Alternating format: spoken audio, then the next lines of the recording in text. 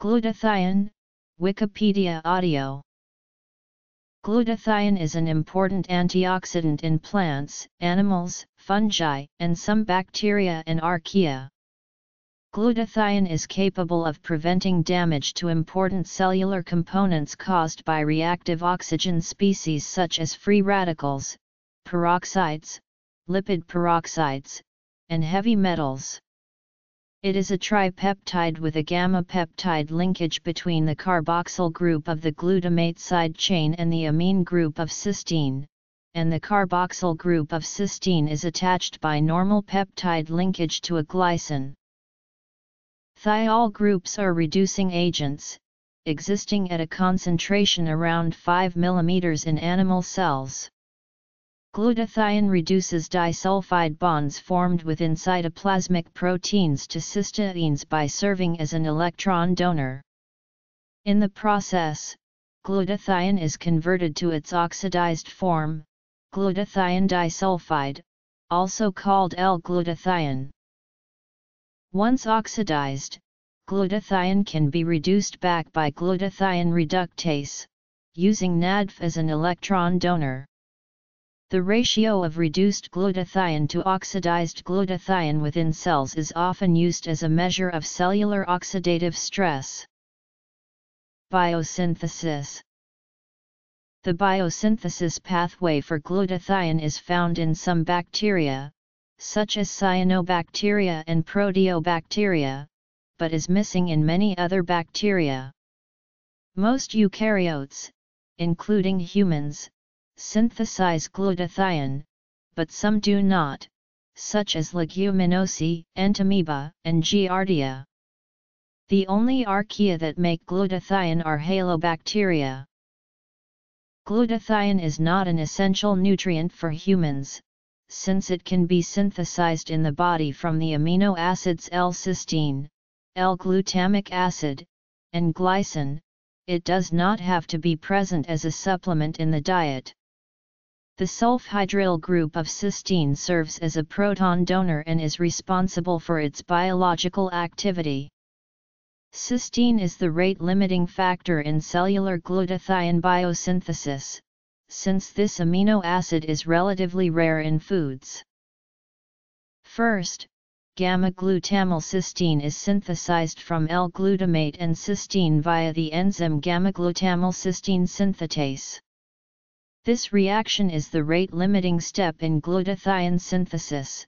Second, glycine is added to the C-terminal of gamma-glutamyl cysteine via the enzyme glutathione synthetase. Cells make glutathione in two adenosine triphosphate dependent steps. Animal glutamate cysteine ligase is a heterodimeric enzyme composed of a catalytic and a modulatory subunit. The catalytic subunit is necessary and sufficient for all GCL enzymatic activity, whereas the modulatory subunit increases the catalytic efficiency of the enzyme. Mice lacking the catalytic subunit die before birth. Mice lacking the modulatory subunit demonstrate no obvious phenotype, but exhibit marked decrease in GSH and increased sensitivity to toxic insults. While all animal cells are capable of synthesizing glutathione, glutathione synthesis in the liver has been shown to be essential. GCLC knockout mice die within a month of birth due to the absence of hepatic GSH synthesis. Major transport into the bloodstream is driven by an electrochemical gradient, specifically through the transport proteins RCGSHT and RSGSHT.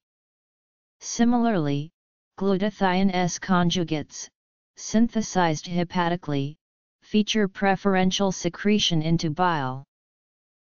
The plant glutamate cysteine ligase is a redox-sensitive homodimeric enzyme, conserved in the plant kingdom. In an oxidizing environment, intermolecular disulfide bridges are formed and the enzyme switches to the dimeric active state. The midpoint potential of the critical cysteine pair is minus 318 MV.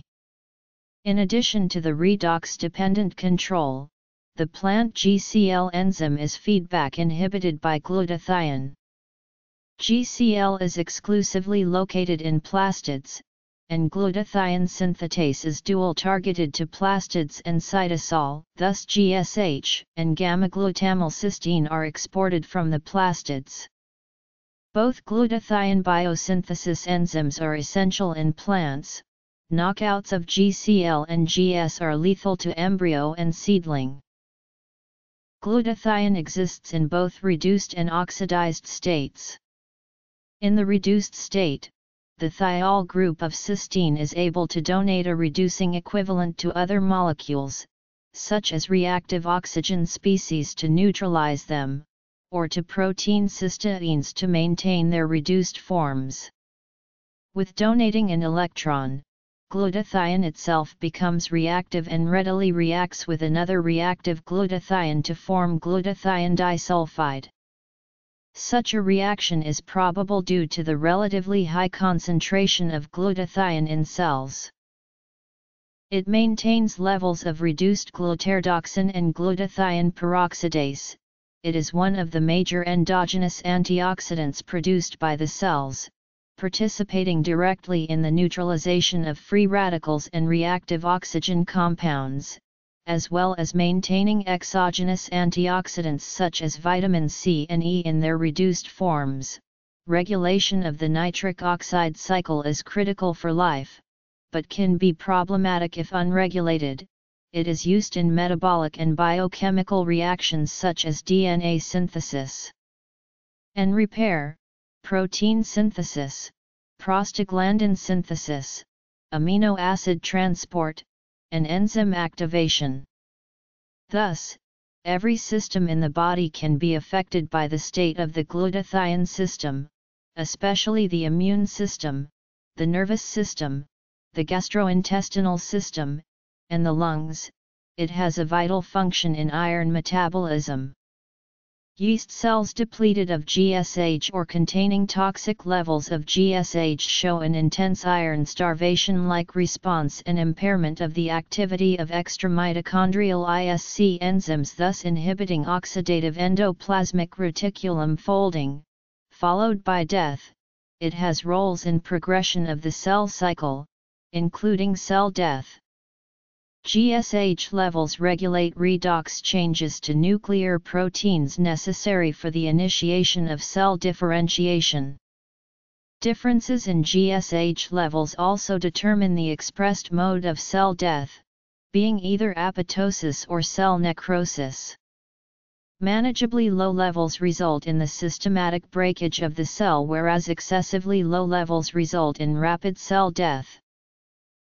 Generally, interactions between GSH and other molecules with higher relative electrophilicity deplete GSH levels within the cell. An exception to this case involves the sensitivity of GSH to the electrophilic compound's relative concentration. In high concentrations, the organic molecule diethyl maleate fully depleted GSH levels in cells. However, in low concentrations, a minor decrease in cellular GSH levels was followed by a twofold increase.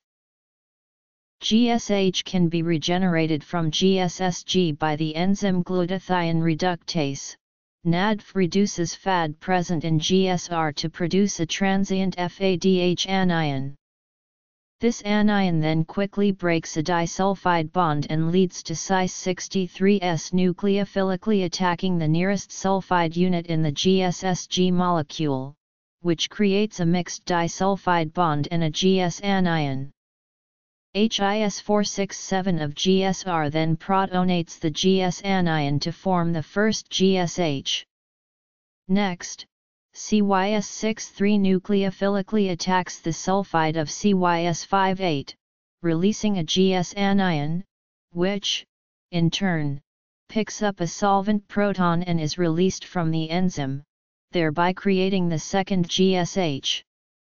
So, for every GSSG and NADPH, two reduced GSH molecules are gained which can again act as antioxidants scavenging reactive oxygen species in the cell.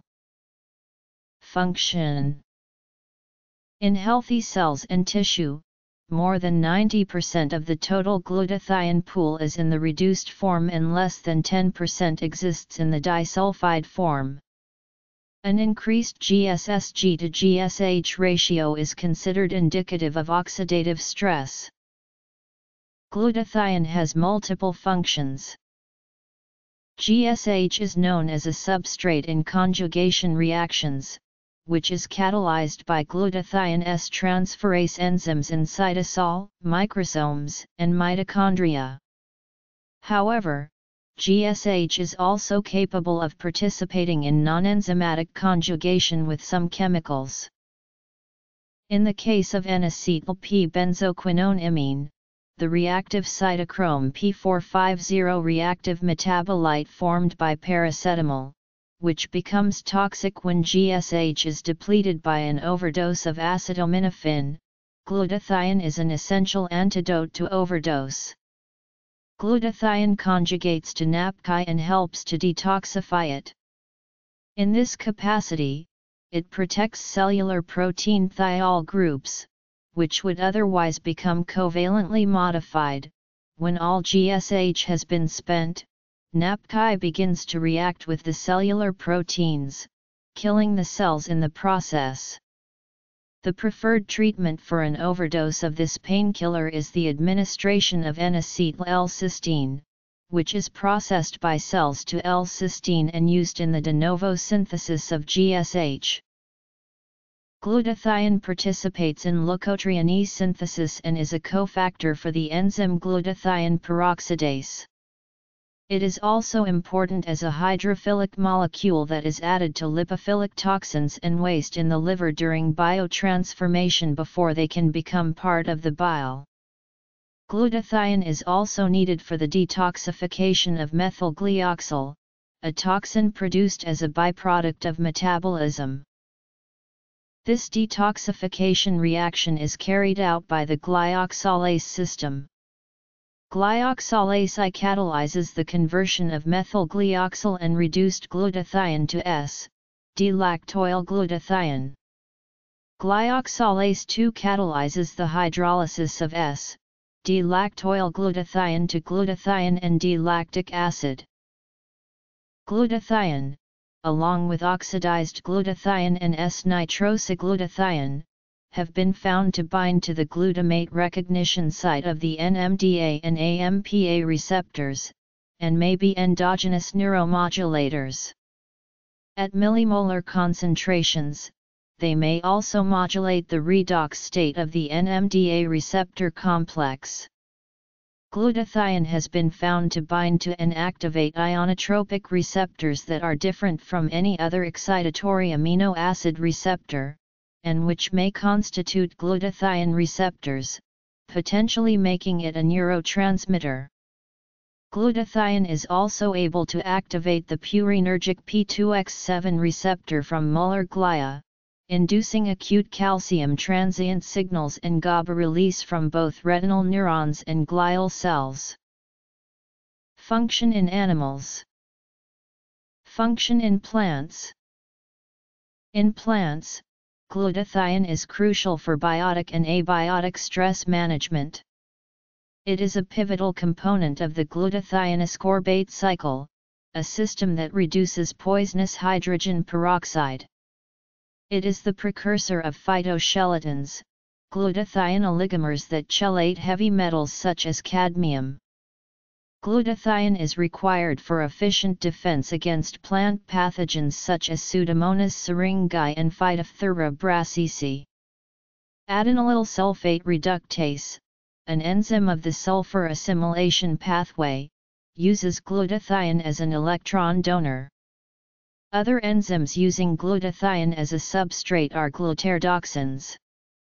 These small oxidoreductases are involved in flower development, salicylic acid, and plant defense signaling.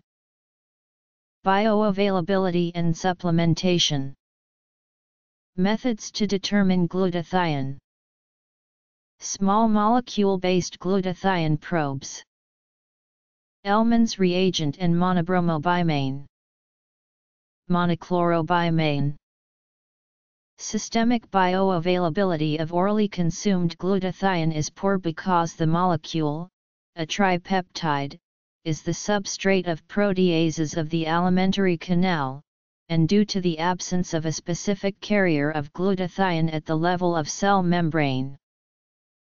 Because direct supplementation of glutathione is not always successful, supply of the raw nutritional materials used to generate GSH, such as cysteine and glycine, may be more effective at increasing glutathione levels.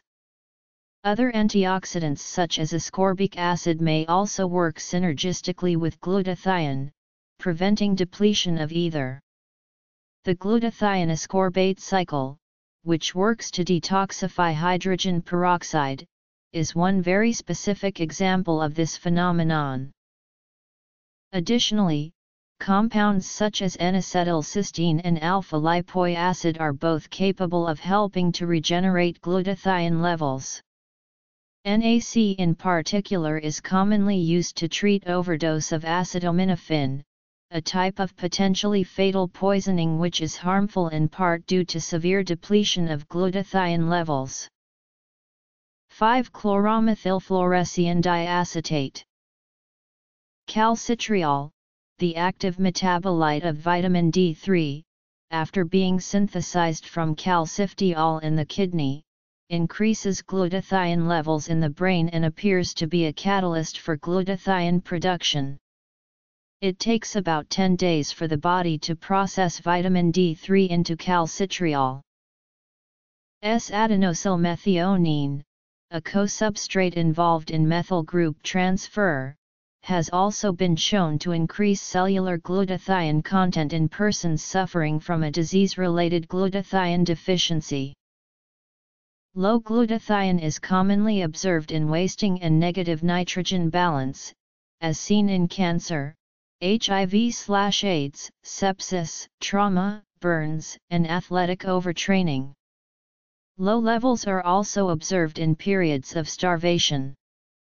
These effects are hypothesized to be influenced by the higher glycolytic activity associated with cachexia, which result from reduced levels of oxidative phosphorylation. Reduced glutathione may be visualized using Ellman's reagent or bimane derivatives such as monobromobimane. The monobromobimane method is more sensitive.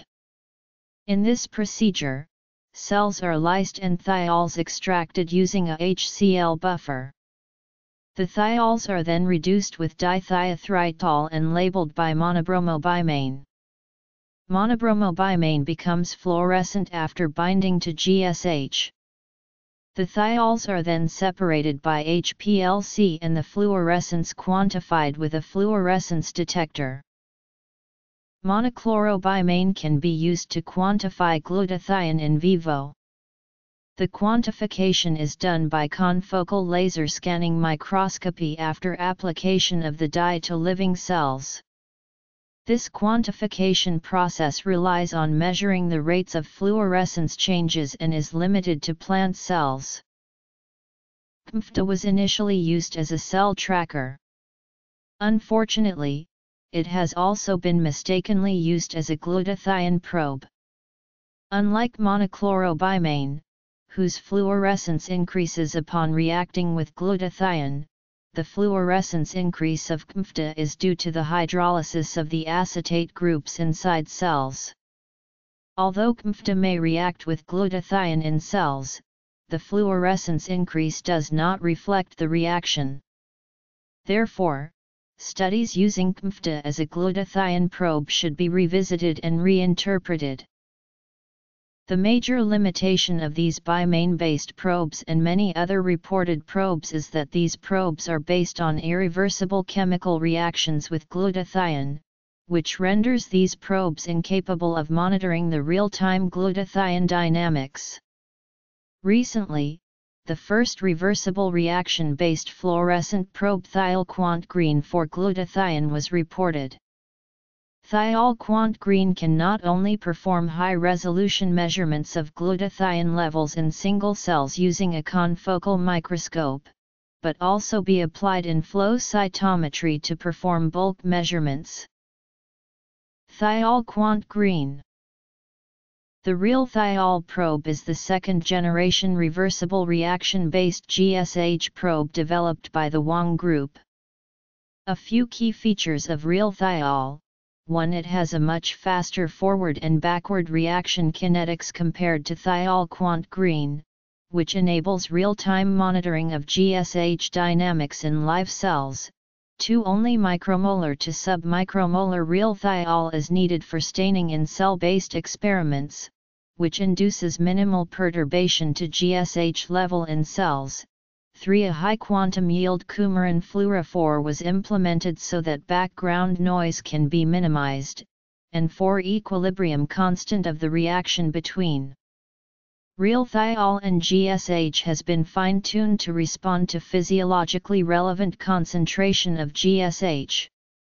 Real thiol can be used to perform measurements of glutathione levels in single cells using a high-resolution confocal microscope, as well as be applied in flow cytometry to perform bulk measurements in high-throughput manner. Organelle-targeted RT probe has also been developed. A mitochondria-targeted version, MitoRT, was reported and demonstrated in monitoring the dynamic of mitochondrial glutathione both on confocal microscope and FACS-based analysis.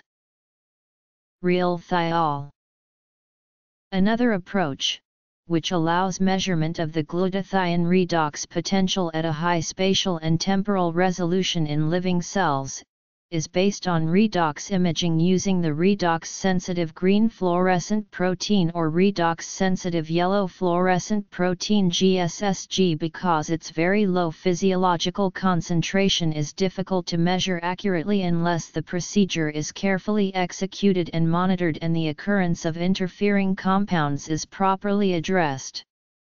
GSSG concentration ranges from 10 to 50 μm in all solid tissues, and from 2 to 5 μm in blood. GSH to GSSG ratio ranges from 100 to 700.